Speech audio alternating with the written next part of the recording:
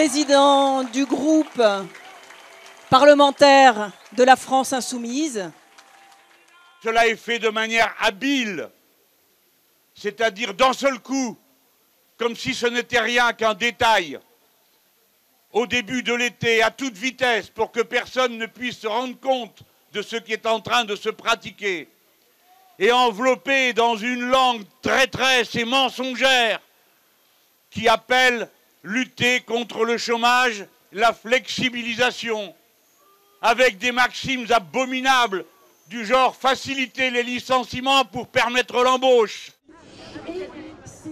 Est tous présents ici bah, avec la France Insoumise parce que c'est une réduction du code du travail qui est faite, c'est la destruction d'un modèle social, la réduction de, siècles de lutte sociale qui a été mise en place. Et on veut se réunir pour montrer à Macron justement qu'on est contre ça, qu'on se bat et qu'on lâchera rien. Et que ce soit cet été, en septembre, on sera là, on sera réunis, on sera mobilisés pour euh, justement bah, continuer notre combat et cette révolution.